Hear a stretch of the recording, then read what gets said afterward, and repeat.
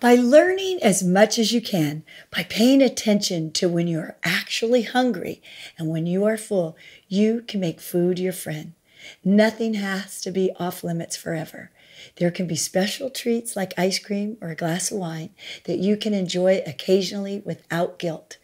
During this 10 week plan, you are learning to make food a healthy and a positive part of your life.